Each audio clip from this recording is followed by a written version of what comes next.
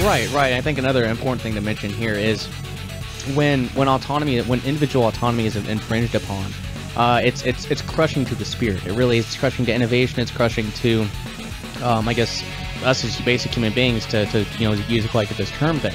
Um, I'll mention it again in the watching of uh, Wayfaring Men, and this isn't a spoiler at all. It's something that's uh, that's uh, I, I, think most of us, most most people listening to this podcast, and you and I, are, are well aware of. But when people are uh, you know held down, uh, like if you look at the, the most communist and, and socialist countries, um, innovation is definitely quilled. Um, you know, if you look at some somewhere like North Korea, uh, yeah, there's not a whole lot of innovation there. They aren't allowed to innovate at all, and uh, therefore, you know, as it's been going around the news cycle, uh, that's why that place is kind of a shithole. It's because uh, there is no individual autonomy. There is no ability for people to use their creativity to turn raw goods into producers' goods. There, there's nothing. There's there's nothing like that. Uh, except for kind of the black and gray markets, but you know that we're talking about you know small numbers there. Uh, most people, you know, don't. Uh, most people are, you know, very patriotic, and uh, you know, they, they want to to obey the law and such.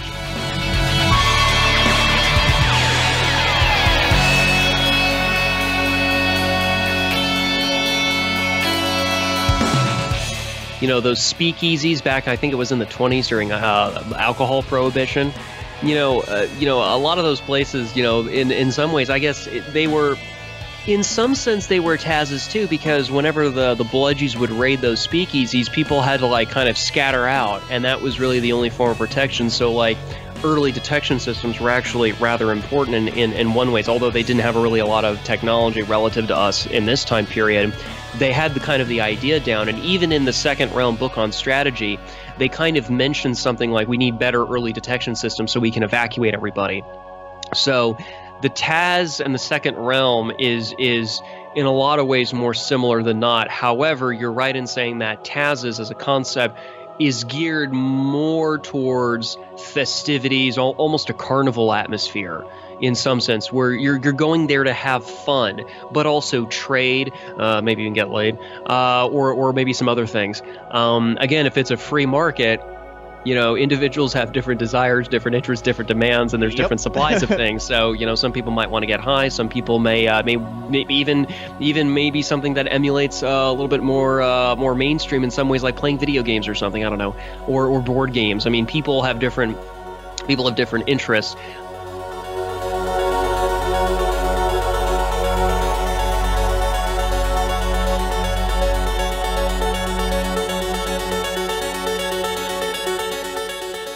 It's extremely important to keep the two realms separate. Uh, you know, second realmers don't interfere with the first realm, keep the peace, and uh, you know, hopefully vice versa.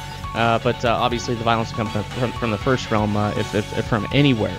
Um, so I think that's a, a, pretty major first discussion point.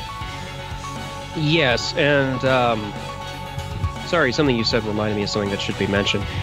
There is an element of segregation here, which is important to mention. However, it also needs to be properly understood this is not the equivalent of the statist, you know, Jim Crow laws where the state is basically forcing segregation, nor is it the allegedly opposite pendulum, but really in the same vein of coerced integration, which was the authority, the e- equally, equally, right? Equality is fine as long as we're all equally enslaved.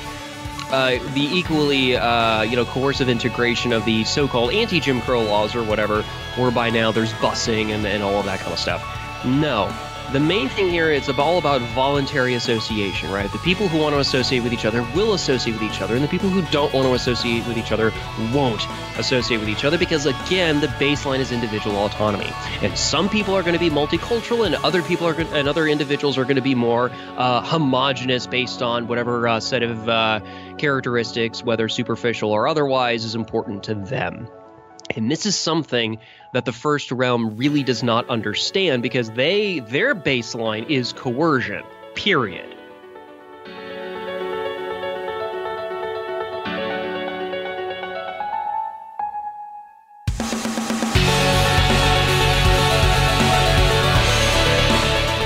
Um, or at most, the second realm would be pretty much strictly a cultural thing and not much else. As opposed to if the economies of scale were noticeably larger to varying degrees, then the second realm becomes much more of a tangible thing. a tangible reality where you really do need access control points, and then depending on how things go, you really do need the anonymized remote control defense systems, the defense weaponry, and and so forth. Not to mention uh, other types of services. The uh, you know those um, I think it was also mentioned in the book on strategy. What was it? The, the what was it? The double blind trading booths or whatever. Again, if you have two Mhm. people, they already know each other. I mean, they're just good friends. That we're that, that's that everything's on a personal level at that point.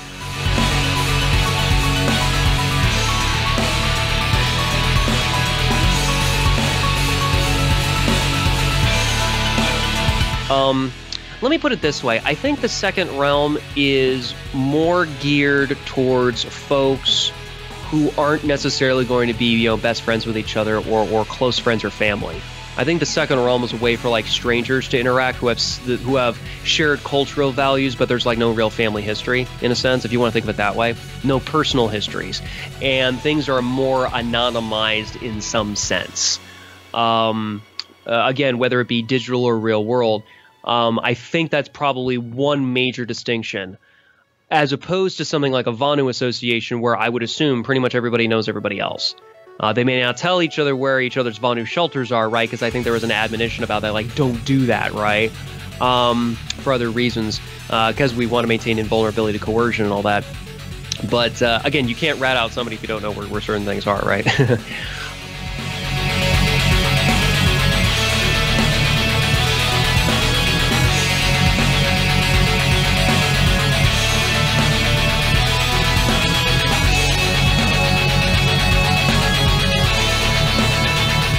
I do think there's one thing worth mentioning um, the notion of import export and, and the role of the proxy merchants.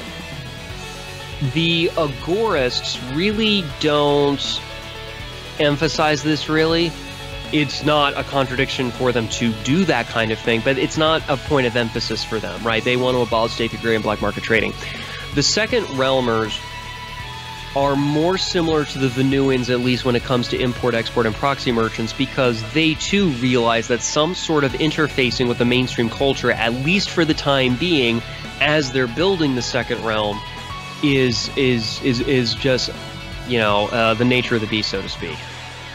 And I really like that because that really kind of dovetails into what Rayo was saying back in the 60s and 70s that there needs to be some sort of interfacing. And as the economies of scale, shall we say, upgrades or otherwise develops, then perhaps less Vonuans and even Second Realmers would have to necessarily do import export. And given the reality of division of labor, only some of them would specialize in being the proxy merchants, in facilitating actual import export, and the rest of the Vonuans and company would just be existing more or less wholesale in an ethical enclave in a second realm, etc.